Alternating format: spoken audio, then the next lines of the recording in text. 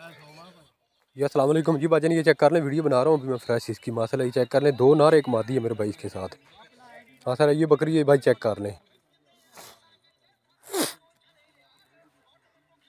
ये माशाल्लाह चेक कर